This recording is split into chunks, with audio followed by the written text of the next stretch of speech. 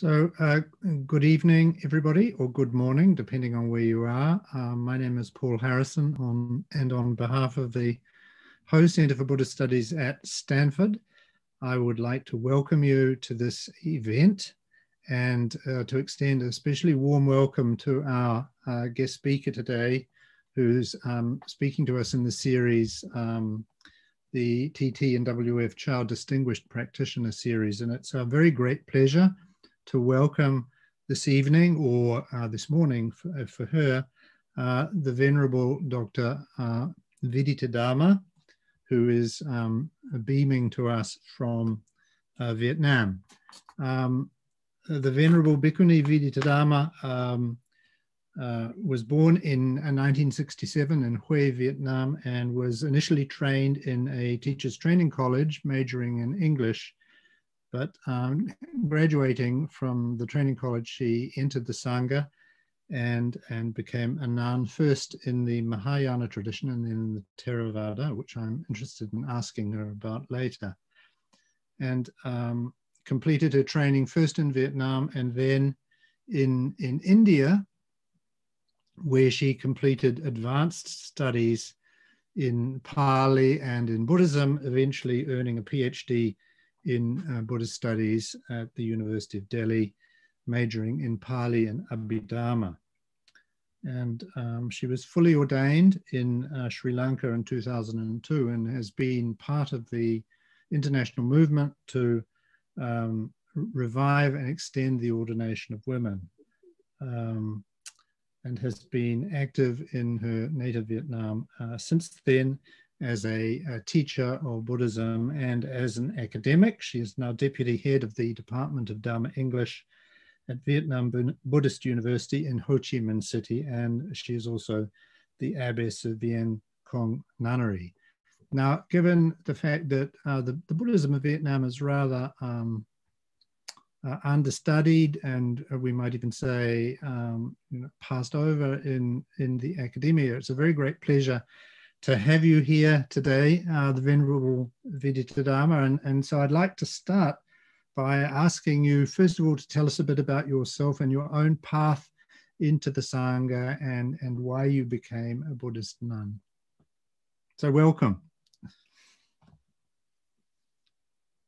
Yeah, uh, thank you, Professor. Um, first of all, I would like to uh, send my greetings to all the participants today.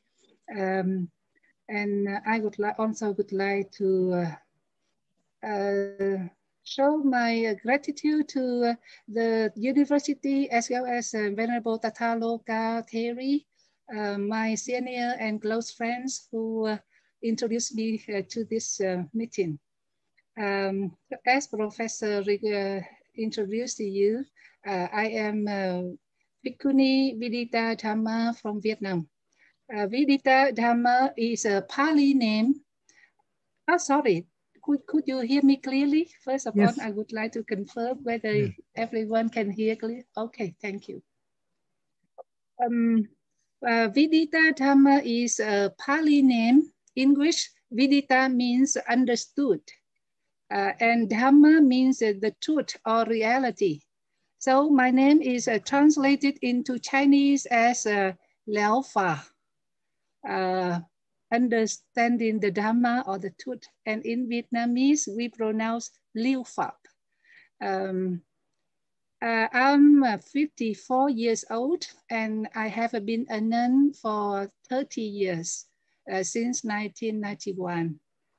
Um, right after my graduation from a university, I decided to become a nun because um, I think uh, I saw the suffering in life. Uh, you see that uh, I was born in uh, 67 and I have uh, faced with the, the civil war in Vietnam.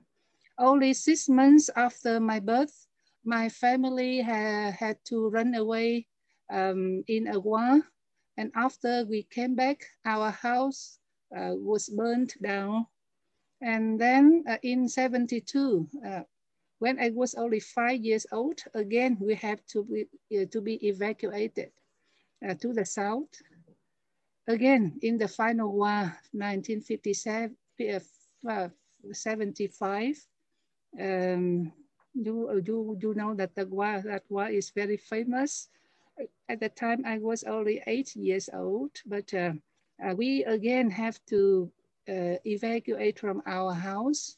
And uh, after some months, when we came back, and when I came back to school, many of my friends died in the war due to the bomb or due to uh, uh, be dropped in the sea.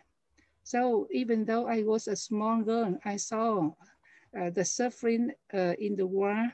And also I saw um, so many problems that my parents had to struggle to make and miss uh, to uh, bring up our big family.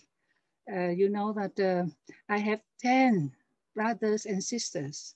So uh, it is a big burden for my parents to bring us up. Um, and then I saw uh, uh, around me my, my brothers and sisters when they have their own families. Uh, they also have a lot of problems, financial problem, mental problem, children problem. Uh, so uh, by seeing the reality around me, I think that uh, family life is not ideal. And it means to me a lot of burden. So I prefer to choose a path of freedom. And because I am a Buddhist, so I saw that the Buddha's way to go alone and to help people in our way uh, is the ideal part of life for me. That is why um, I selected the uh, monastic life. And uh, you know that uh, in my view, in my view about the marriage, uh, we have the we have the the joke that um, when you got uh, when you got in love first when you get engaged you give each other engaged ring. Then when you get married you give each other wedding ring. And after that when you live together then you give each other suffering. So this is uh, my way of uh, about attachment to uh, in a relationship. Uh, so that is how I became a nun to lead a, a life um, away from attachment, from clinging and uh, relationship. And I chose the free way of life as the Buddha chose in the past. Okay, thank, thank you. Could you tell us a bit more about your involvement in the international movement to um, promote the ordination of women?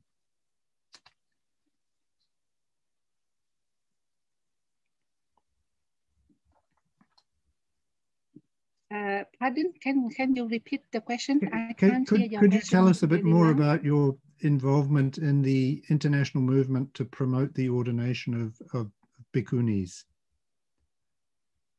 Ah, ah yes. Um, I, um, I am in the Theravada tradition, and as you know, uh, the bhikkhuni ordination in Theravada is not uh, recognized fully by the Sangha and by the government in many countries. Uh, in my case, um, I was uh, a Theravada eight precept nun for 11 years before I could get ordained in Sri Lanka in uh, 2012, uh, 2002.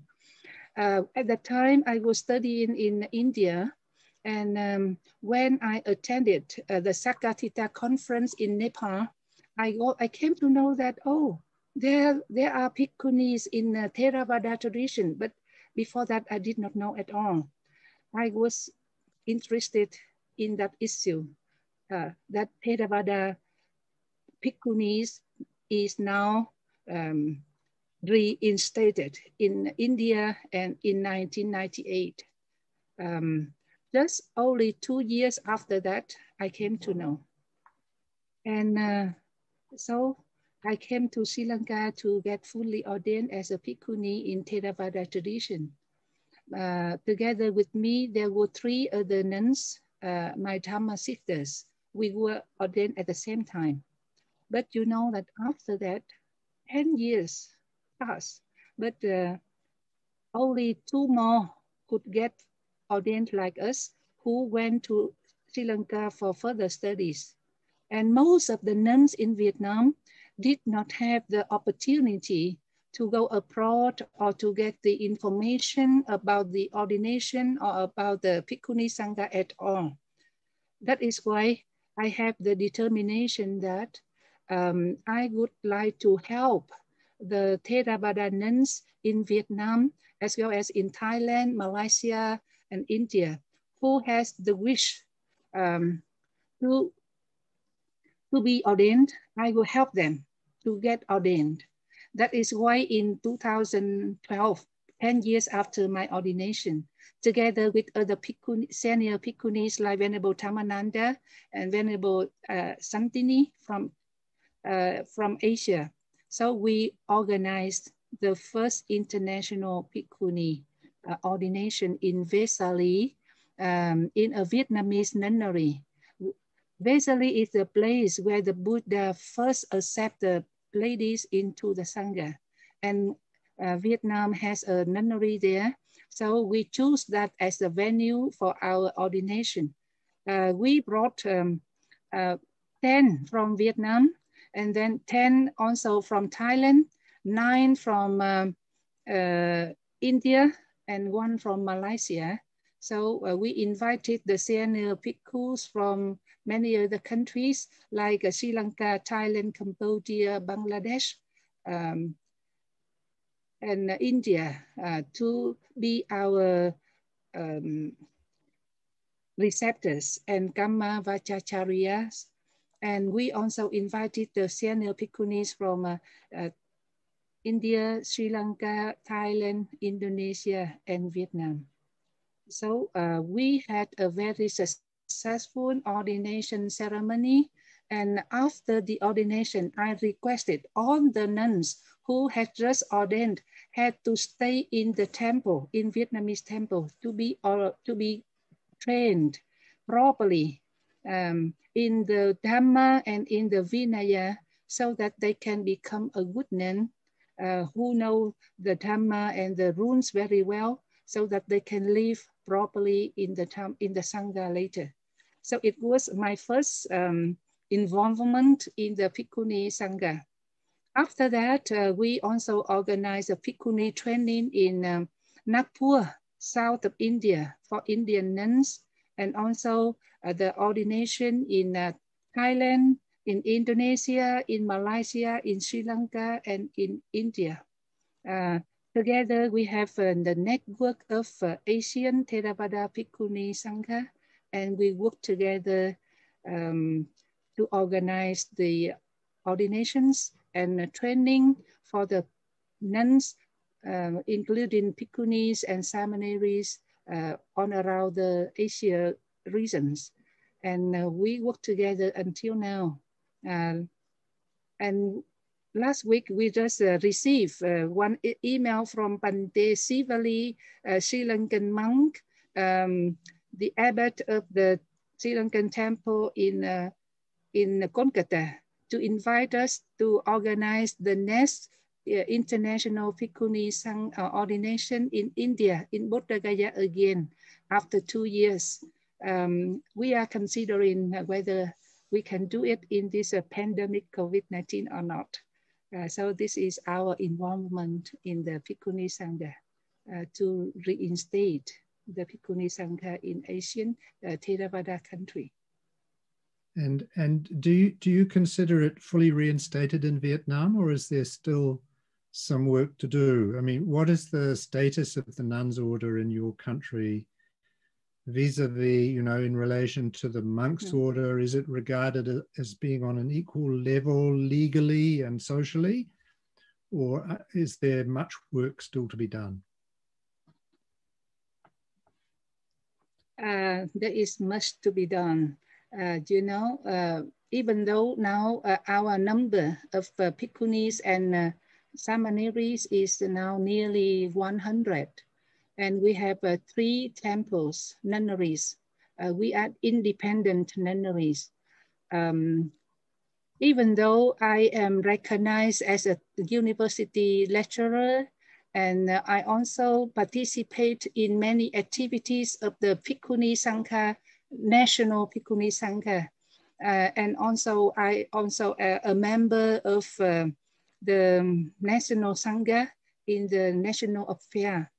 But um, we are not uh, fully recognized by the National Sangha as a Bhikkhuni in Theravada tradition because um, uh, most of the Theravada monks believe that uh, the Theravada Bhikkhuni Sangha has already disappeared uh, and um, based on the law, uh, the, the rule, the, the Vinaya, it cannot be re-established in the proper way. Um, so they do not uh, recognize us um, uh, officially. Uh, but uh, one good thing for us is that um, even though they don't officially recognize, neither they officially denied us. So we are in an ambiguous uh, situation. We survive, we exist, and um, people know that uh, we are ordained in Theravada tradition, but we don't have the um, national certificate of ordination in Theravada tradition. Our certificate of ordination is only international, uh, not national. And when we apply to get the national certificate, they do not uh, recognize bhikkhunis. They only recognize us as eight precept nuns. And um, we are trying to persuade the Sangha and the government uh, to fully recognize us and um, we uh, there are many things for me to do. So i think that for example i intend to write a book on the legality of the Bhikkhuni Sangha in Theravada tradition and uh, about the for and against uh, ideas concerning to this issue and um, to debate with them uh, for our legality and, um, and um, the necessity of the Bhikkhuni Sangha in our tradition. Thank you. You you've described the resistance. Until now, uh, I got uh, I got approval from uh, many senior monks, but uh, they are not a majority. They are still minority. So we have a long way to go. Okay. What is what is the attitude I'm wondering of ordinary people to your status?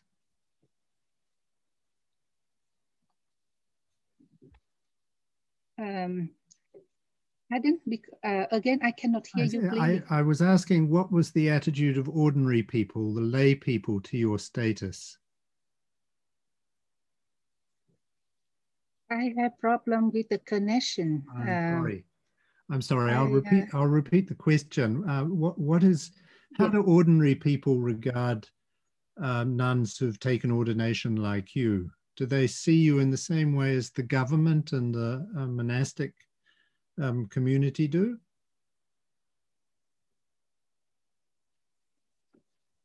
Um, you see that um, in now in Vietnam, um, we have um, uh, three three sets, uh, Mahayana, Theravada, and Mendicant. Mendicant is the mixture between Mahayana and Theravada.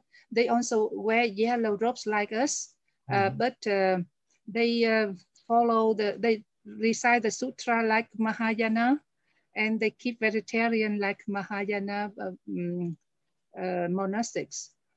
so but three sets, we uh, stayed together, we worked together and, uh, in the same uh, national Sangha. Mm -hmm. And the Bhikkhunis in the Mahayana and the mendicant sets are fully recognized and they are working very well uh, in education, charity, social activities, etc. Uh, but uh, in Theravada tradition, we still have some problems. But among the nuns, um, we got uh, approval. many nuns uh, asked me to uh, send the letter, official letter to the government and to the Sangha to ask for the full recognition. Um, but uh, I hesitate a little because I know that uh, when the issue uh, uh, are, are, are, put in our Vietnamese uh, Theravada Sangha, I think that it is not the right time for us to put this question because many people will be will reject the idea. Uh, so, um, and again, another problem is that um, even among the Theravada nuns, um, many nuns do not want to get ordained as a bhikkhuni because they think that it is very difficult to observe on the precepts and uh, and to be uh, and to be independent. So they prefer to continue as a eight precept nun. It is a safer way for them and they can get uh, full um, support from the monks and uh, from many uh, devotees, lay devotees. Uh, we are uh, a little bit um, uh, discouraged by many conservative monks and also conservative lay devotees. And um, uh, we have to uh, try to make them understand that what we are doing is uh, rightly. It is uh, not against the Buddha's teaching and not against what the Buddha has uh, and the Sangha in the past has done. So it is our responsibility. And uh, I hope that the other nuns in our tradition will soon understand um, and uh, they will join us in our path. You've already mentioned the, the relationship between Mahayana and Theravada.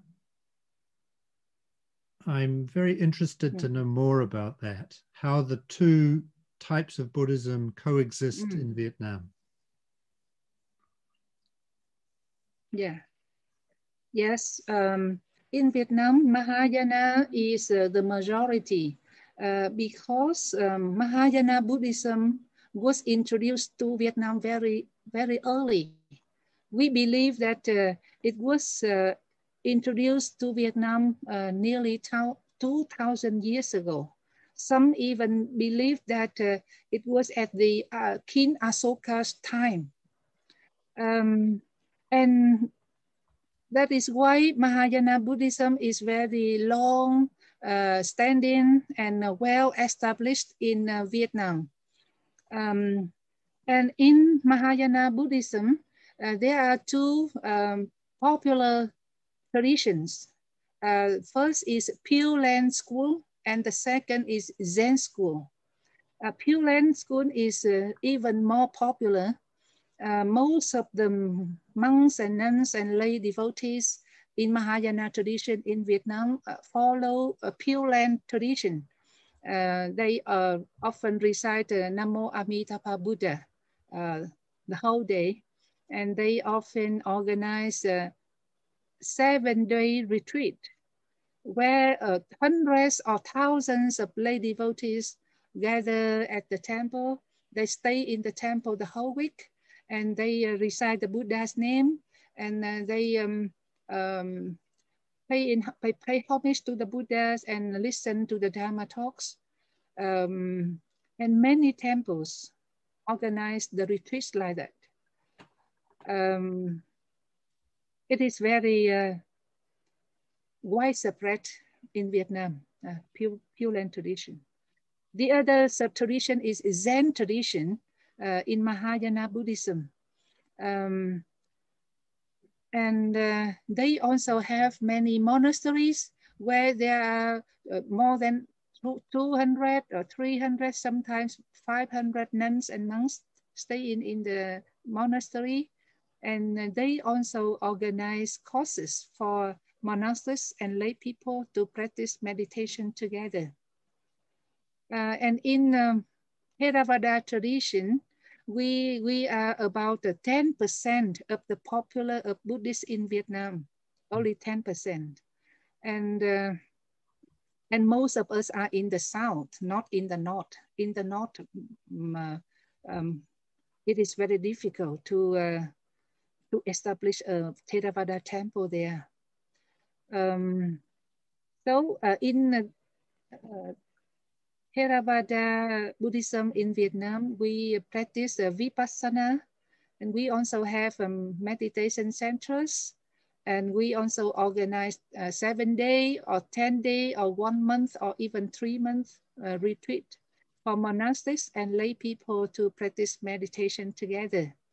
Uh, some, some temples um, often invite the meditation masters from uh, Myanmar and uh, Thailand uh, to come to Vietnam uh, to lead the retreat, the retreat for the monastics and the um, and the lay devotee together.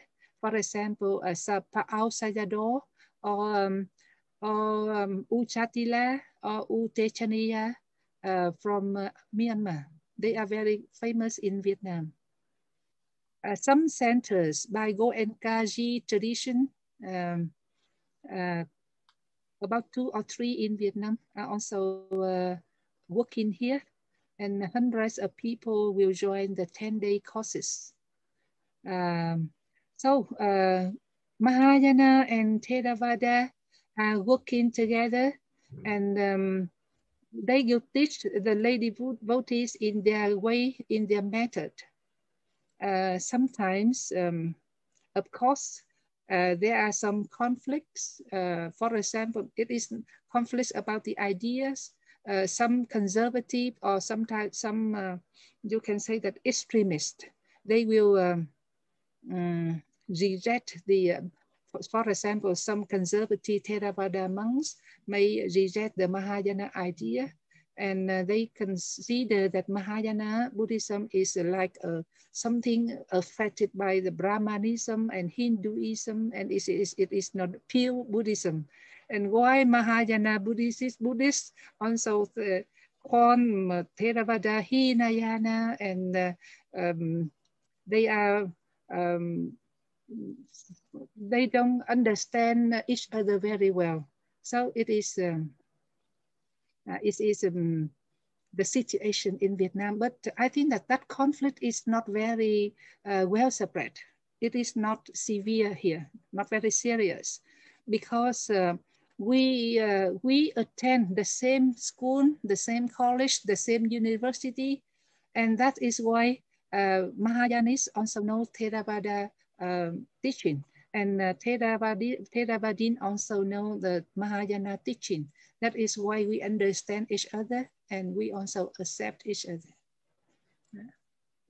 Yes, I, I was um, checking out the website of your university and I saw there was there was a department for Mahayana studies, a department for Theravada, various language departments, so Pali and Sanskrit, French as well, I saw was studied.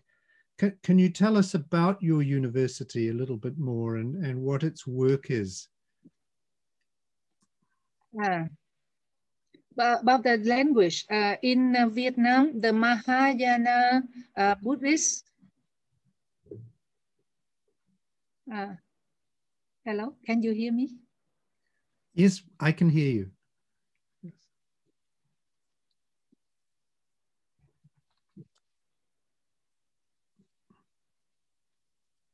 Uh, can you hear me now? I can hear you now. The connection seems to be rather weak, but, but I can hear you.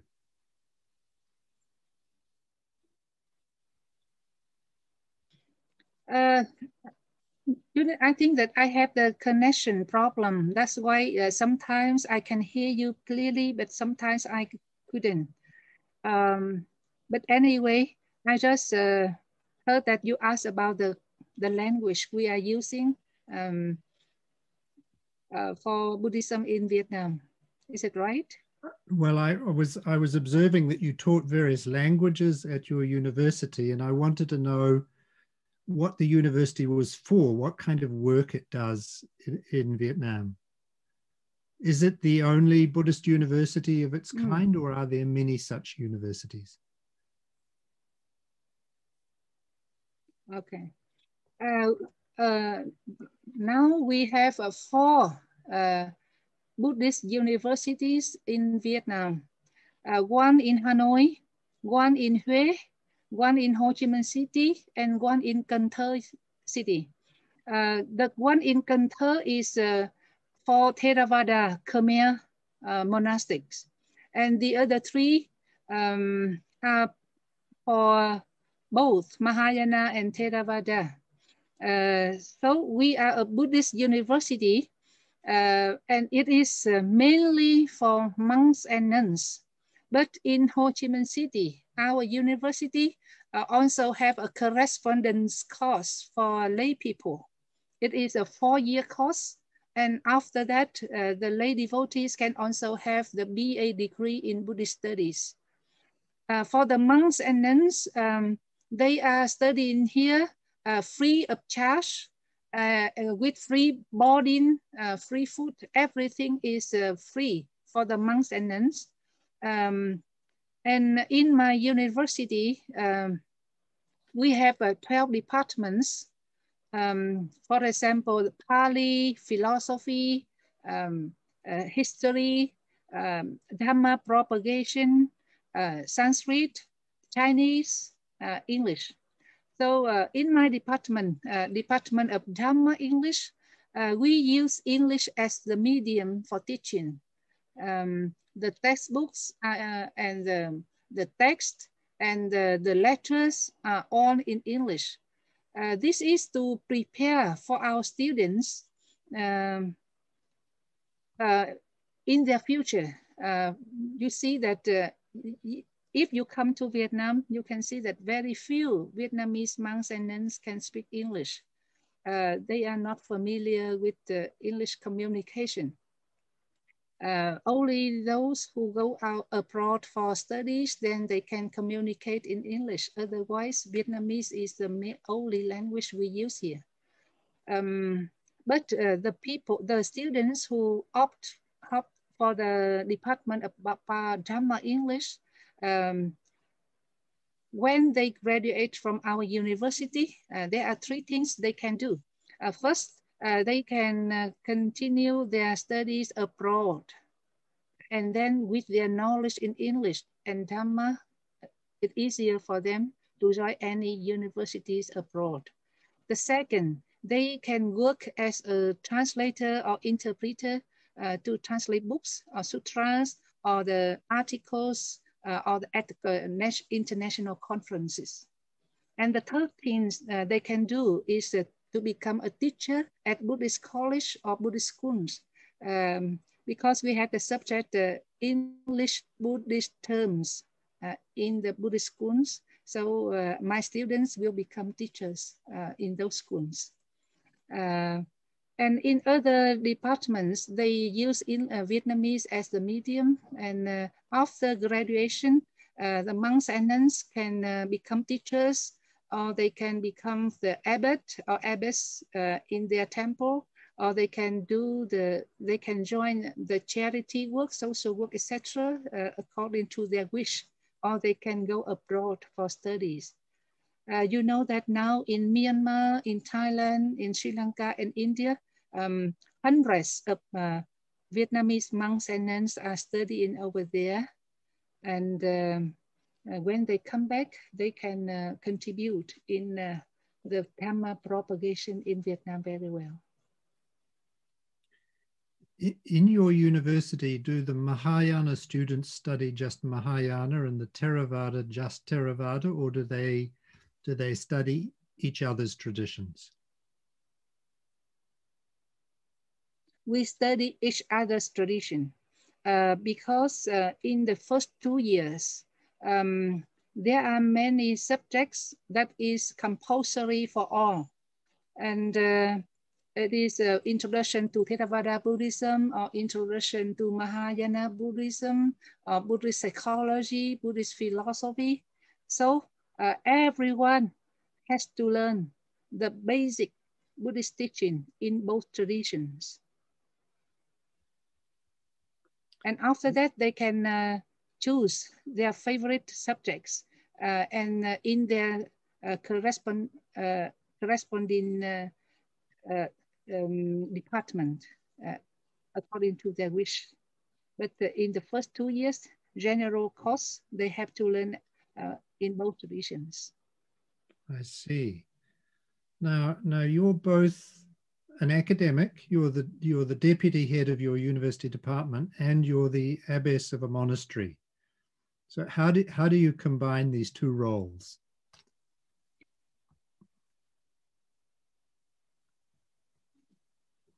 Hmm.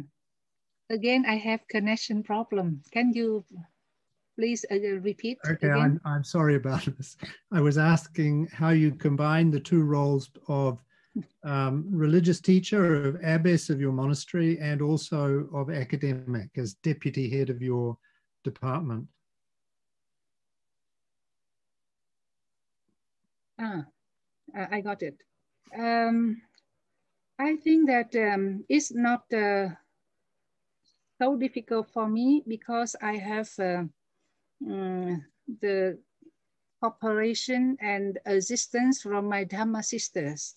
Um, as a teacher, uh, uh, at present, I teach as only not only one but three uh, Buddhist schools. Um, one in uh, Ho Chi Minh City, one in uh, Vũng Tàu, my my home, my hometown now, and one in Da Nang City, 1,000 kilometers from here. Uh, so sometimes I have to fly to Da Nang to teach there uh, one or two weeks and then come back. Mm -hmm. uh, so uh, in my temple, uh, uh, now there are 50 nuns and um, we have some senior nuns who can, uh, some are very experienced in meditation. And I asked these nuns to guide the other nuns in uh, meditation. And some others know English and Pali and uh, Dhamma, then they can help me to teach the newcomers um, in these classes. So uh, at the beginning, I, I, I took many classes in my temple, but right now I took only one or two classes in my temple. And the rest, uh, I will appoint my Dharma sisters or my students to teach them. So um, I can uh, combine. Sometimes when I teach at university, I can also uh, let my students in the nunnery listen to the to my teaching on the YouTube or um, live. And uh, so they can learn, even though I am not teaching them directly at the monastery, but they can also learn when I teach at the universities or somewhere when I give, uh, go to temples or to uh, um, other cities to give Dhamma talks to lay people Usually people will record it and put on YouTube.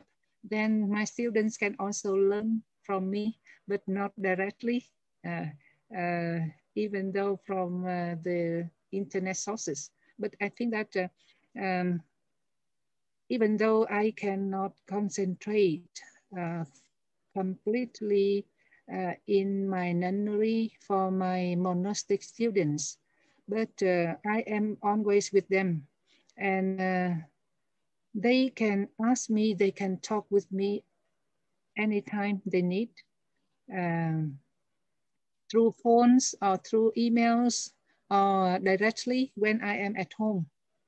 Uh, in my temple, when I am at home, uh, I have one, uh, I put one, uh, I have one activity that is um, morning walk with teacher. I will ask the, the students who want to talk with me uh, about their problems, about their practice. They can register on the paper uh, to have 30 minute morning, morning walk with me every morning. They will take turn. So when we walk together, we will, we will discuss about Dhamma and about their situation, their problem. Usually after 30 minutes, then we can uh, solve many things together. So that is uh, my way of teaching my students. And also once a week, um, we will have the meeting in the monastery uh, where we will uh, put on the problems we are facing in the nunnery and then we can talk together and we, we will discuss and find the solution so that we can uh, understand one another and we can do the work better. So in our temples, meetings are very regular uh, where we sit together, we listen to each other. And I think that this is the way so that we can get connected, even though I am not always with them. Thank you. I also like to have walking meetings with my students, so we have something in common there. I, I wanted to ask you whether the Sangha in Vietnam is growing. In other words, are many people wanting to, to become members of the Sangha, and particularly are women entering the Sangha? Are you getting lots of recruits for the, for the Bhikkhuni Sangha in Vietnam? Uh, yes, our Sangha is still growing, not uh, decreasing like uh, in other countries. And if you come here, you come to my uh, temple or you come to my class in the university, you can see that they are very young. Uh, their, their average age is about 20s. Uh, in my temple, the average age is about 30s. Uh, they are still very young, but they are very faithful. They have understanding in the Dhamma and due to the faith to the Dhamma, they decide to become a nun even at very young age. And uh, after uh, becoming a nun or a monk, uh, they get um, gradual education uh, in the first in the temples and then in the primary school, Buddhist primary school, and then Buddhist secondary school, Buddhist college, and Buddhist universities. So the, the ed, Buddhist education is very strong here. Uh, with uh, in the Mahayana temple, uh, the young nuns and then start with the Chinese, Chinese writing, Chinese chanting, and Vietnamese chanting, and also the Vinaya runes. And in our temple, in Theravada tradition, everyone must learn uh, Pali because every day we chant in Pali. Uh, so Pali is compulsory for every Theravada monks and nuns. And uh, in my temple, um, we, uh, we don't go out for alms, uh, but we take turns to cook. The samaneris and the uh, anagarika will cook the uh, according to the rules. We cannot cook, but the young nuns can help. And we are getting more and more recruits every year. Uh, you know, uh, I came back to uh, Vietnam from India only in only eight years ago in 2013. And I started receiving students. And from zero and now after eight years, I have 50 young nun students. Um, and I think that it, and it is still growing. The number is still growing. Uh, every year about five or seven will come. Uh, uh, on uh, uh, next week is our Lunar New Year. And on the first day of the Lunar New Year, we will have a samaneri ordination ceremony. Um, uh, for three, three nuns will become samaneri and uh, two ladies will be shaved to become an anagarika. So uh, every year we have newcomers and most of them are uh, students at university or they already graduated and went to work, but they found that uh, they are not satisfied with the family life and they would like to become a monastic. So people just uh, keep coming. So the um, you know, um, in the past, people often think that only those who um, who got failure, who got disappointed um, in their career or in their love life, uh, could become a monk or a nun um, as a, a seclusion from the world. But uh, for example, when the people met me, they also, oh, why, why did you become a nun? Uh, is it because of a bro broken heart? Something like that. people often think that because of uh, our failure uh, uh, of our loss, then we we are so sad and we don't know how to do and we come to the temple. But uh, nowadays the situation is uh, opposite. Um, most of the monks and nuns young are very young. They are very uh, optimist. They are very positive. And because they understand the Dhamma, uh, because they want to have the peaceful life, and because they want to serve the community in the best in the best way, then they decide to become monks and nuns, not because they cannot uh, um, succeed in life or they are not satisfied with the with the word. So I think that this is a very good sign for our Sangha. That's very encouraging. Uh, thank you. I'm, I'm going to um, ask uh, one of our students now, Ralph Craig, to, um, to moderate the questions, uh, which I hope um, uh, people listening out there will put in the Q&A function at the bottom of the screen. And we have some in the chat as well, which I hope Ralph has picked up. Very good. And so Ralph, would you like to take it away? Uh, thank you for your talk and telling us about your life. Uh, one of the questions we have, I know you touched a little bit on this before, but if you could elaborate, when and how did you become a Bhikkhuni preceptor? Uh, so maybe a little bit more about your journey. Um, I became a preceptor in uh, 2014. it was uh, 12 years after my ordination according to the Vinaya. At that time, in 2014, I took my three students um, to go to Sri Lanka uh, to get the Bhikkhuni ordination. Um, at that uh, ceremony before the ordination, uh, Venerable Dhammananda from Thailand uh, requested the um, Sri Lankan uh, senior bhikkhus who were our who are our masters to give me permission to become a pavatini or the preceptor. so at the time, they consider that uh, I was ordained for 12 years and I have uh, enough knowledge to become a teacher so that I can guide my students in the Dhamma and Vinaya. So uh, they think that I am qualified enough. So they, uh, uh, uh in the Bhikkhu Sangha, they decided to uh, appoint me as a Pavatini.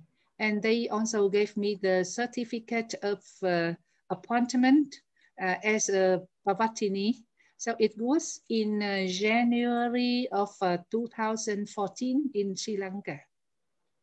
And since then, um, I had uh, I had be, I have become pavat, either Pavatini, uh, preceptors, or Kamma Vachacharini.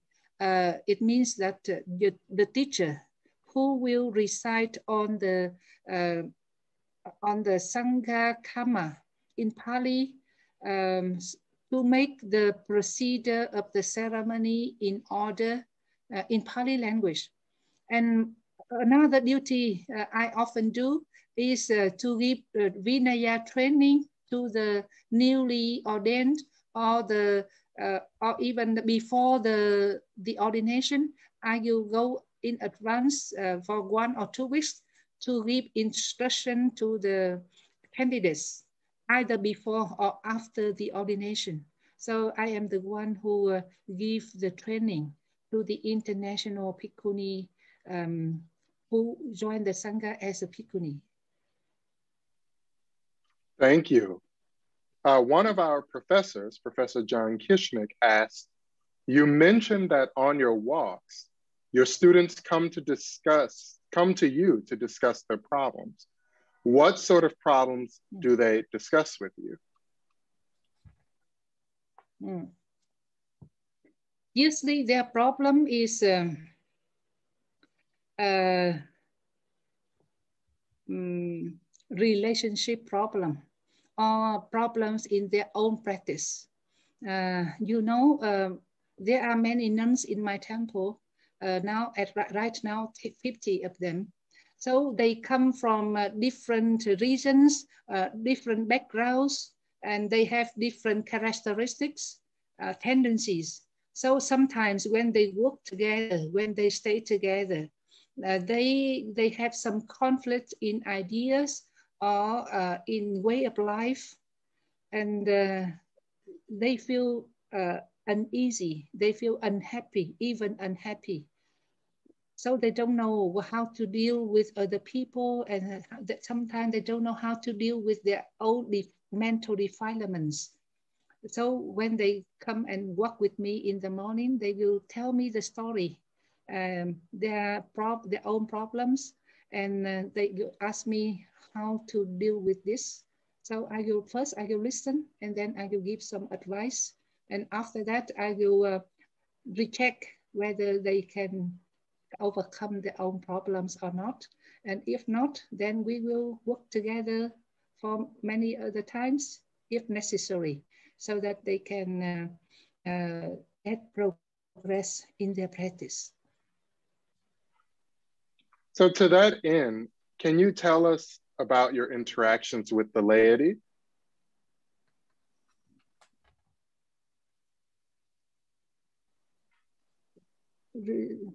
Relation with what? Uh, with the laity. I, I, can't hear you clearly. with the laity. laity. Mm -hmm. Yes. Can okay. you tell us about your interaction? We have very good yeah. relationship. Mm, okay, we have very good relationship with the laity, uh, lay people. You mean? Uh, you know, uh, in Buddhism, monks and nuns uh, are not allowed to earn a living uh, we don't go for to work, we don't get a salary.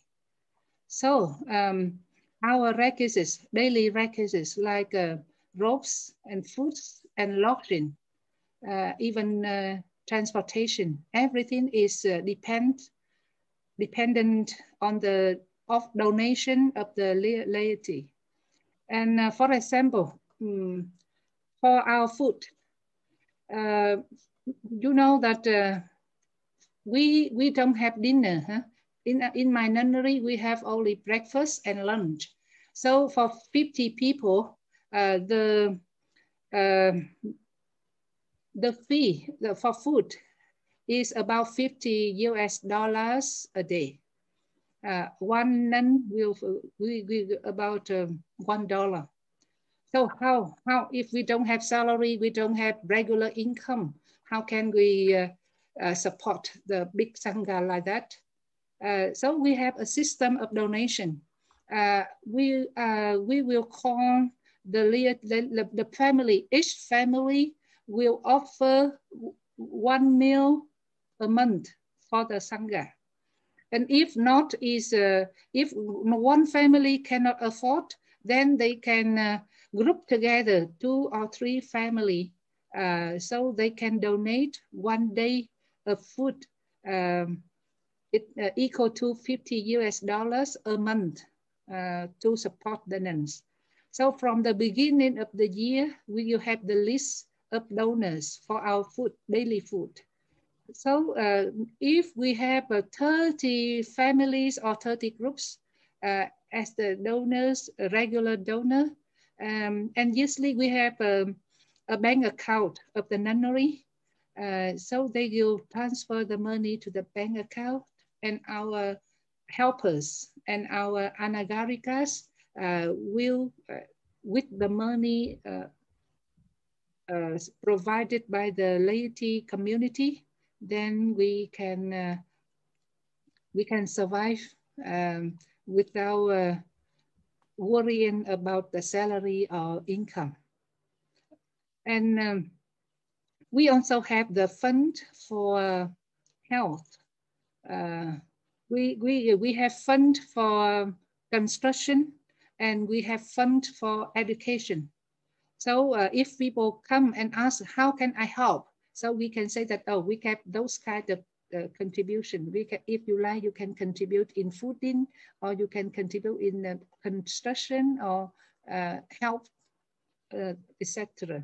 So they, they can uh, donate in that way and um, we can uh, uh, support our Sangha in that way. Mm. Thank you.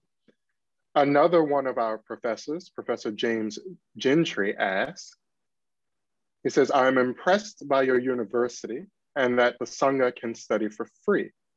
Could you share where the funding comes from for the university and what challenges you have faced in keeping the university going? Uh, um, you know, our university uh, does not get any financial support from the government. So all the support comes from the lay community. Um, so uh, we, we are proud to say that uh, our laity community in Vietnam uh, is very strong and very faithful. They have the belief that uh, if they uh, help to uh, uh, educate to help in the education of young monks and nuns. This is the future of Buddhism. And if Buddhism prosper, then the country will prosper and they can help to make the society happier. So with this belief in mind, people will generously donate to the universities and to the meditation centers and to the monasteries and nunneries they are willing to share their incomes and uh, to donate monthly or yearly to the fund of the university. Uh, there is one uh, big group uh, in Vietnam, Vingroup. Uh, they have supermarkets, they have a building construction company. Then every day they will uh, bring 300 kilograms of uh, vegetables uh, to the university to provide the kitchen. And uh, some people will, uh, the groups, uh, these groups, that group from many parts of the country, they will register to offer one day food to the university. So they take turn to offer. So in that way, um, the still the university can uh, exist and uh, develop without any regular financial support from the, the, the government or anyone, but only mainly based on the contribution of the lay people. Wow, that is so encouraging to hear. About how many bhikkhunis and novices are living and training at your nunnery? Um, now we have uh, 50 uh, bhikkhunis and samaneris and anagarikas in our temple. Um, we have many stages of training. For example, a lay a woman uh, would like to join our Sangha. First of all, they have to stay as a layman, laywoman for six months so that uh, they can find themselves whether um, it is suitable for them to become a nun or not. And from outside, we will observe them to see whether they are sincere or serious in becoming a nun or not. Both sides are investigating. And after six months, if they find that, oh, this is the right way for me and I really want to become a member of the Sangha, then they ask permission to officially become a member of the Sangha.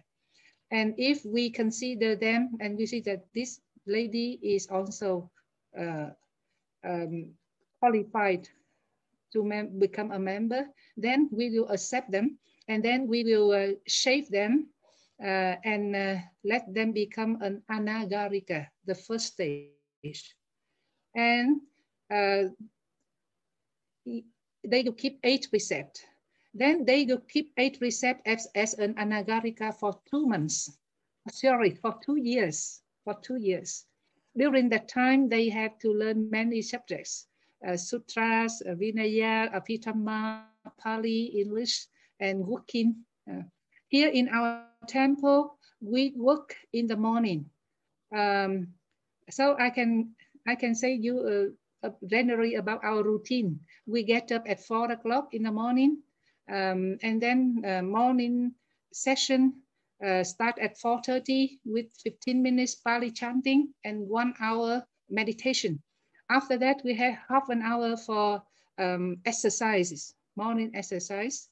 And uh, then breakfast at six o'clock. Then from seven to 10 a.m., this is the work, labor work. Uh, we work in the garden. You know, our temple is uh, quite large, uh, 10 acres.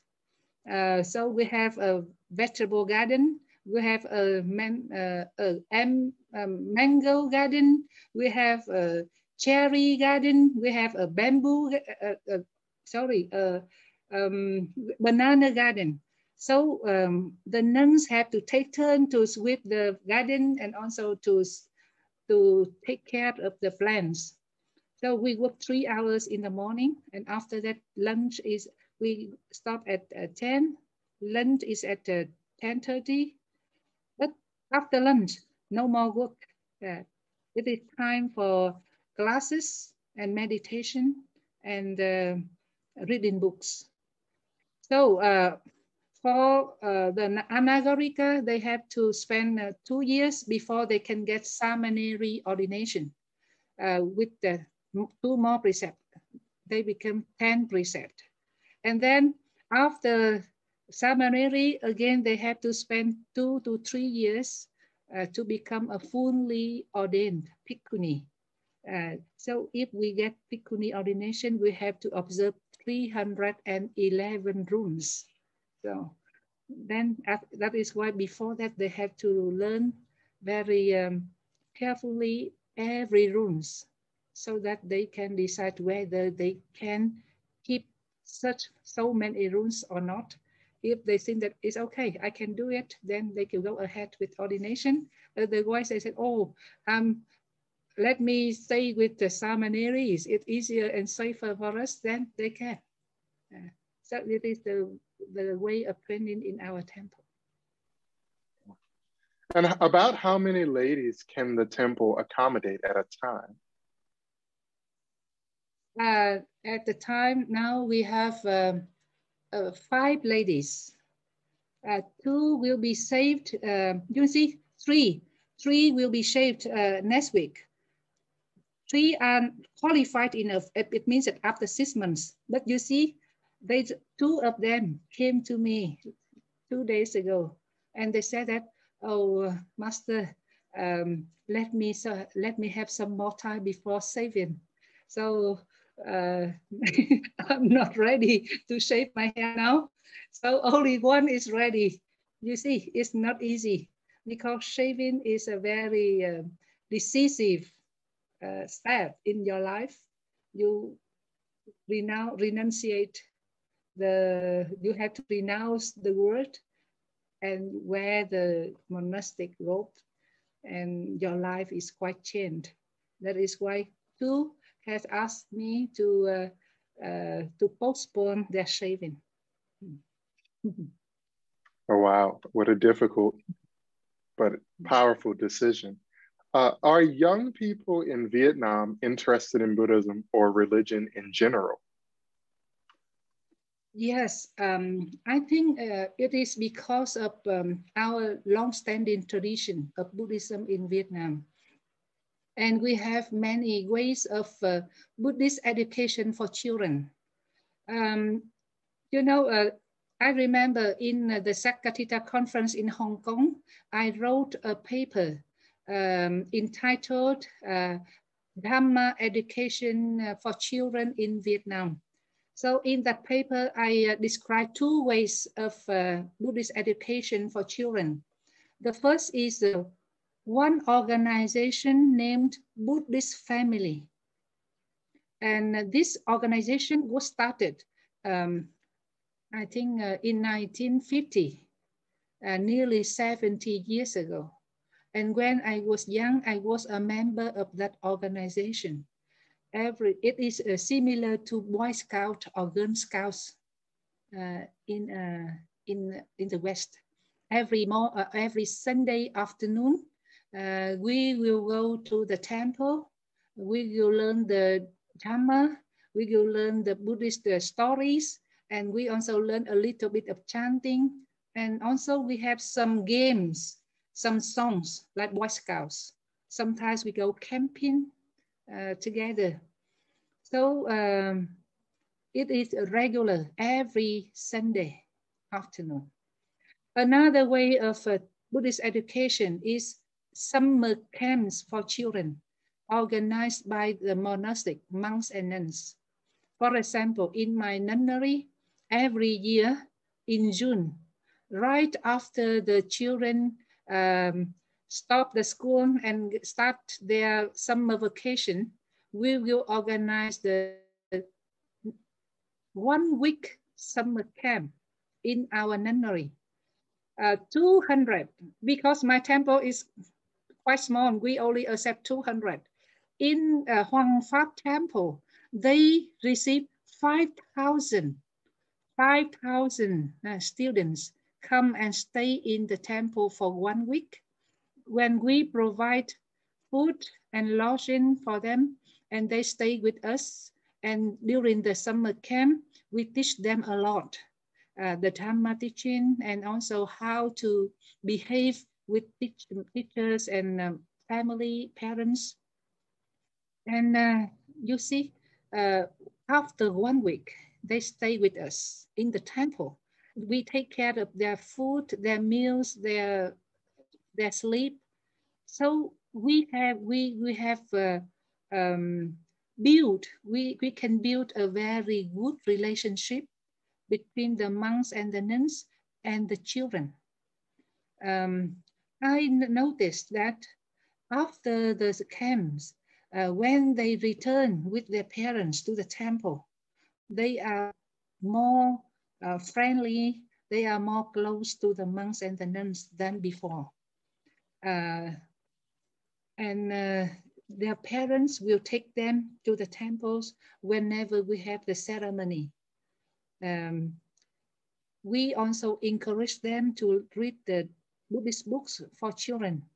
And we even give them consultation when they need because you know that uh, sometimes parents cannot help them, but the parents told them that the monks and nuns are very uh, uh, gentle and very uh, helpful and very friendly. So they send the children to us and they, they, we encourage them to tell us the stories.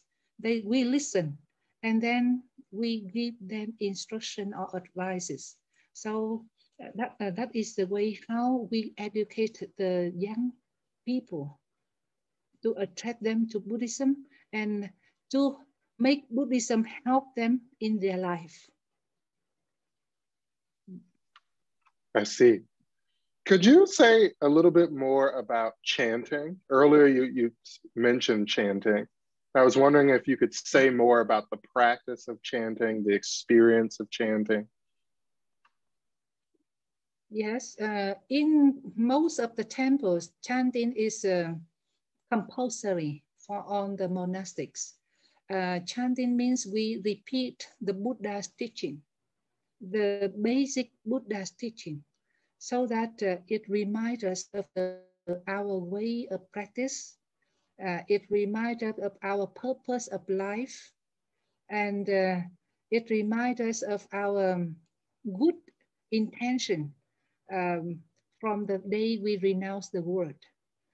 This re reminding is very important. Um, so uh, usually we have two times for chanting, one early in the morning and one in the evening. Uh, usually we chant together. Uh, we will take turn to lead the chanting. Everyone will have the opportunity to lead the chanting. Um, and in our temple, we will learn, we will chant in Pali and Vietnamese. Um, for the Pali chanting, uh, you know, in Theravada tradition, uh, even though uh, you go to every country, for example, if I go to Venerable Tathaaloka temples in uh, San Francisco, in the in the USA, we can also chant together.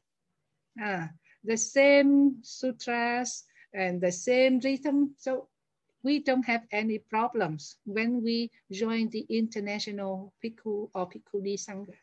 I think that it is a very strong point of Theravada Buddhism. Uh, in Mahayana Buddhism, uh, they chant in their own language. China chants in Chinese, Korean, in Korean language, Vietnamese also. Uh, that is why when they come together, they don't have the common language. Uh, Sanskrit should be the common language, but you see that uh, no one chant in Sanskrit now, I think, except uh, Tibetan monks. Uh, maybe Professor Harrison know about this. very few people can chant in Sanskrit now, but Pali is very, still very popular in the Theravada community. And it is our strong point. We can be uh, uh, together very easily, harmoniously. Hmm. I see. Professor James Gentry asks again, he says, over the past few years, I've noticed that Vietnamese Mahayana Sangha members have been traveling to Nepal to study the Tibetan language. Does this reflect a growing interest in Tibetan Buddhism in Vietnam? Um, let me see. Uh, let me see. I I can can can you can you pass the question to me? Uh, I cannot hear the questions very clearly. Uh, is there any question there? The question yes. uh, test? Uh-huh. Uh, I will can, can you send it to you. Mm -hmm. okay, thank you.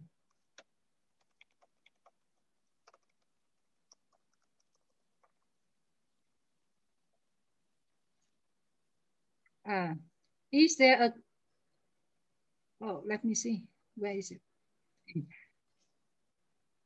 uh, from let, let me see. Where, where is your where is your chat? It is a confusing system. It's, it's okay. Let, let me try let me try chat okay. Uh, is that is there a growing interest no no mm-hmm yes see. That's the question. Is uh, can, can you repeat the question? I think now yes. I can hear you. Is there a growing interest in Tibetan Buddhism in Vietnam? Yes, I think so.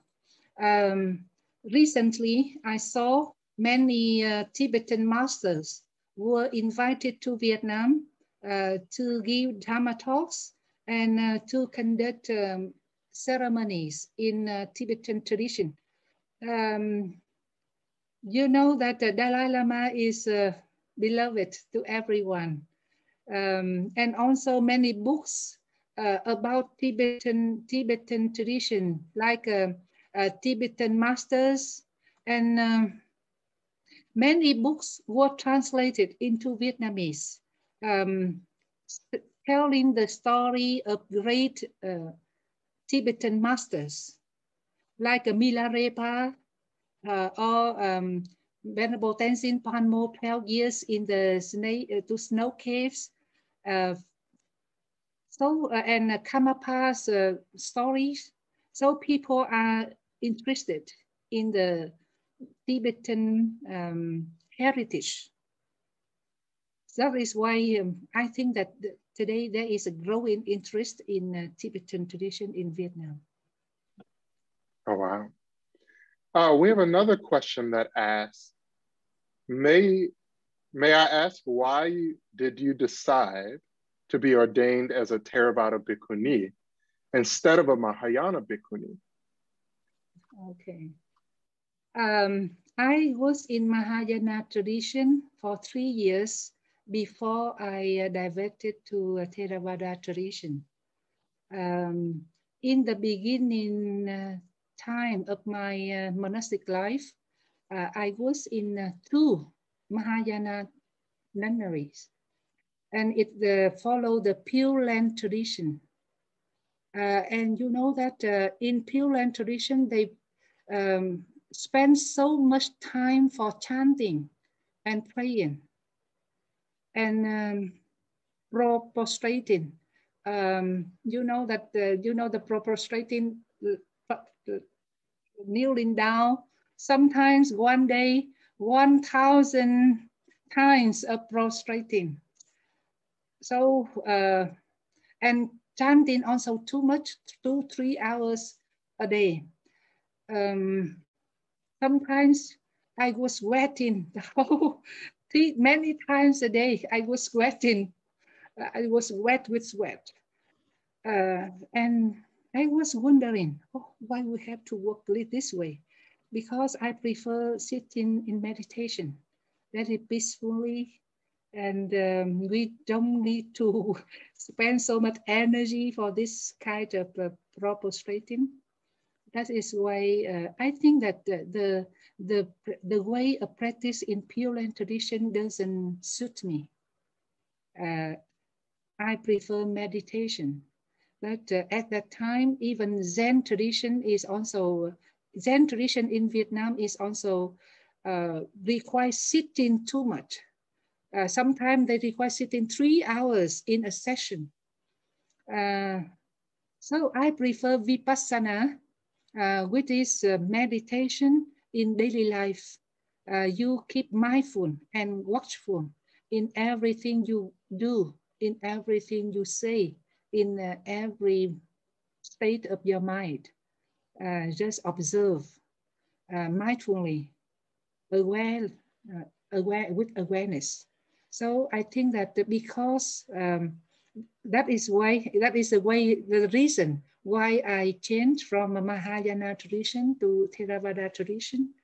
Uh, even though at that time, many people told me that if I um, follow the Theravada tradition, I will lose the opportunity to be fully ordained as a bhikkhuni.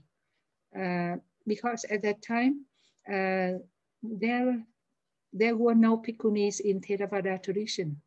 But I say, okay, uh, uh, the status um, or the position is not so important, but the practice and the achievement in your practice, your peace and your wisdom is more important. So uh, I think that even though it is a sacrifice, I'm ready to sacrifice. But uh, fortunately, um, I I became the pioneer to uh, re-establish the Bhikkhuni Sangha in uh, Theravada tradition. And uh, um, I paved the way for the um, for my uh, sisters, for my students, so that now they can also get fully ordained in Theravada tradition. Uh, so I think that uh, it seems like I have a mission to do in Theravada tradition. To that end, can you share what is your vision for the future of the revived Theravada Bhikkhuni Sangha in Vietnam and internationally? Hmm. I, I hope that, and I strongly think that uh, we will have a bright future um, for the Bhikkhuni Sangha in Vietnam and international. Um, because um, I I believe in our seriousness in practice. Um, you know, my, my master is a monk, a bhikkhu. He always support us. Every week he came to our temple to teach us.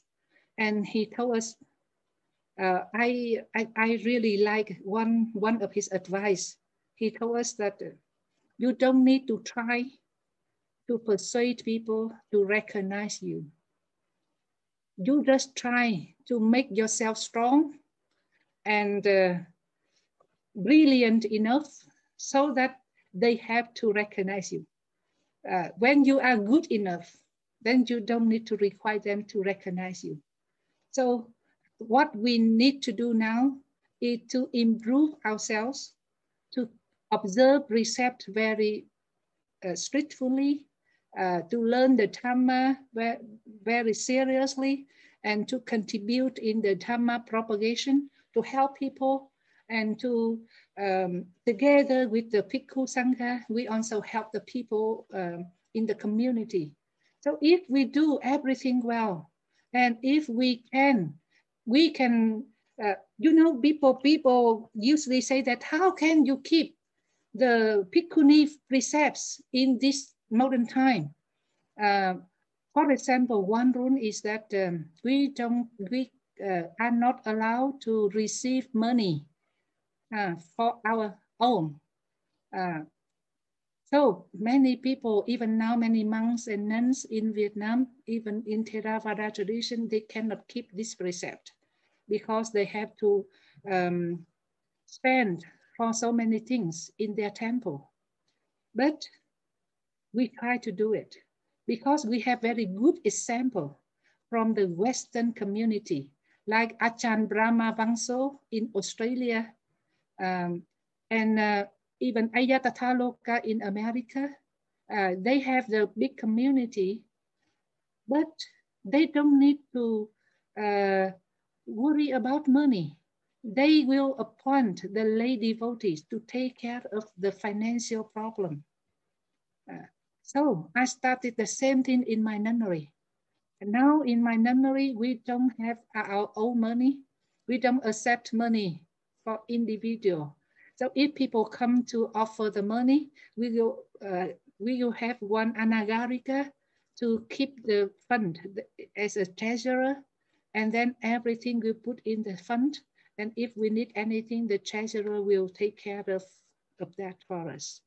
And I think that um, until now, we may say that we are the only temple in the country can do that thing, that we don't keep the money for, for each people. It is the common money for everyone.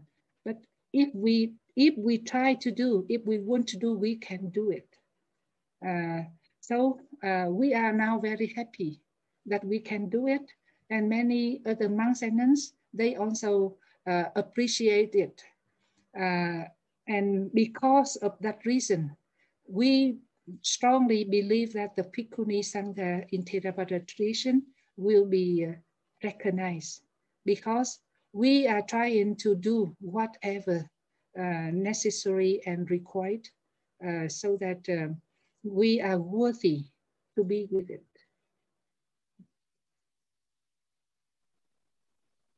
Thank you.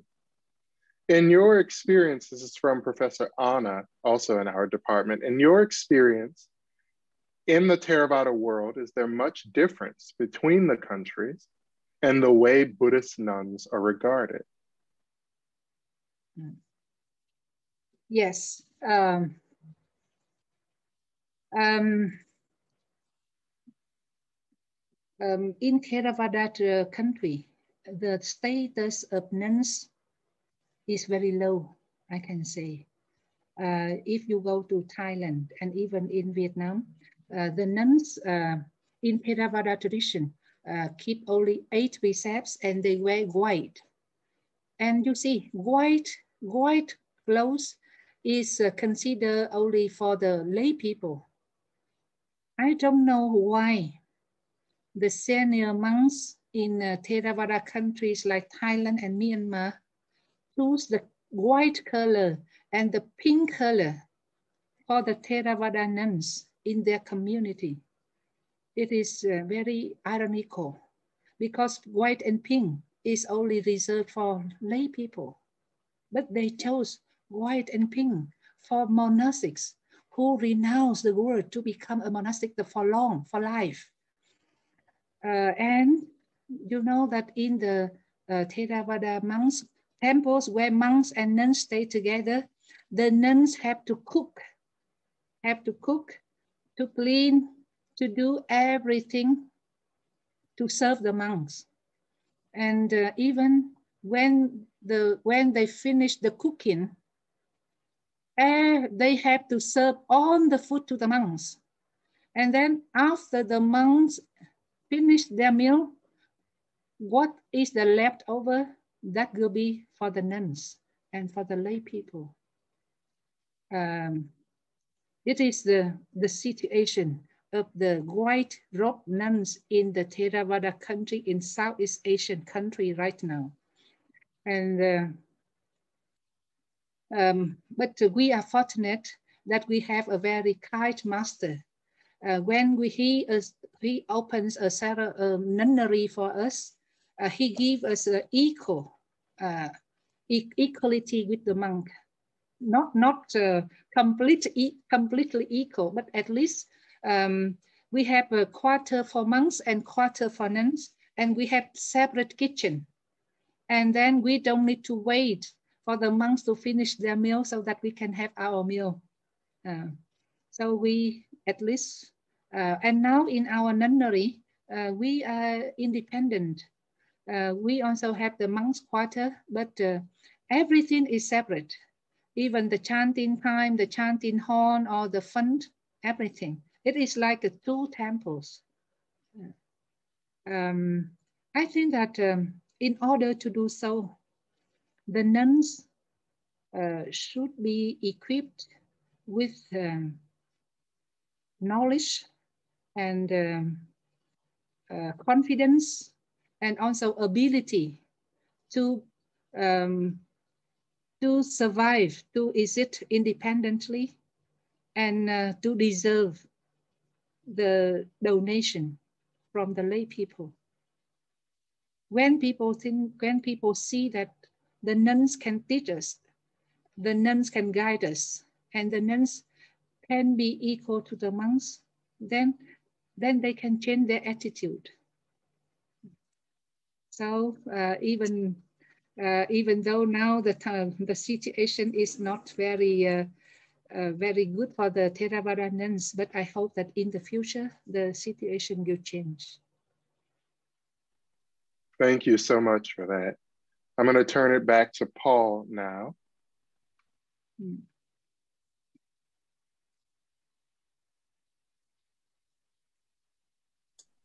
Yes, uh, thank you. I think we've got time for uh, one more question. Um, it comes from another one of our um, one of our, our, postdoctoral fellow, in fact, who who um, uh, remarks that he's enjoyed listening to your talks on YouTube for the past two months and and has appreciated the way you engage uh, your audiences with a really accessible and interactive um, style of presentation but, but one thing he's noticed um, is that um, the audience applauds during lectures and uh, your lectures and other lectures by Vietnamese monastics. And um, so uh, he finds this bursting into applause rather unusual um, and unique to contemporary Vietnamese communities. So he, he was he was wondering if you could say something about the um, the role of applause in, in Buddhist sermons and in other rituals? Uh, the role of what? Applause, when, pe when people clap during. Ah, applaud. Ah. Yeah. The role of the applaud in. Of, of applauding, yes, because he he he remarks that this this seems to be unique to Vietnam. Uh, okay, okay. Uh, uh, uh, now now I see the question now. Yep. Uh,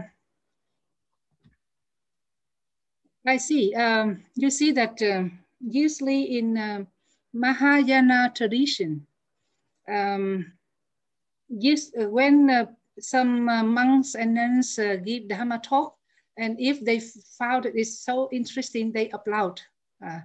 And it is it seems accepted acceptable in Mahayana tradition, but in Theravada tradition, um, we don't use applaud, but we have the the word sadhu sadhu sadhu sadhu in Pali means well done well done. Um, so uh, it is uh, now very popular in the Theravada tradition. Uh, so um, when people are happy with whatever we say or, or whatever we do, they will say sadhu, sadhu very loudly. And uh, I think that it is also equal to the applauding. And it's also encourage, encouraging us very well. Uh, so I think that it uh, is uh, depending on the tradition. In Mahayana tradition, uh, it uh, is okay. But in our tradition, it is not so appropriate so I would suggest people to use the word sadhu uh, to manifest, um, express their um, appreciation. Okay, that, that is a very appropriate note to end on. Uh, I, this has been fascinating. I, I'd, like to thank you for persisting through our technical difficulties and and sharing with us this this really a very interesting insight into Vietnamese Buddhism and to and to the uh, role of the nuns in it. And so so although you cannot hear the clapping or the applause from the audience, um, certainly that we have many sadhus appearing uh, in the chat and and and I, on behalf of everybody and the Ho Center, I'd like to say sadhu sadhu sa to you. Thank you very much. Sadhu sadhu sadhu. Uh, so thank you very much, Professor and uh, uh, Miss Irene and uh, Ralph for conducting this um, talk with us. I also introduce my students to come here to join the event so that they can learn something from uh, the teachers and the students here. And again, I would like to say thank you to Ayya Tathaaloka, uh, my uh, senior and close friend, for bringing me to this opportunity uh, to talk with knowledgeable people like you. So thank you very much um, to be with us. And I wish you very good health and peace in mind and success in your life. Thank you. Thank you very much.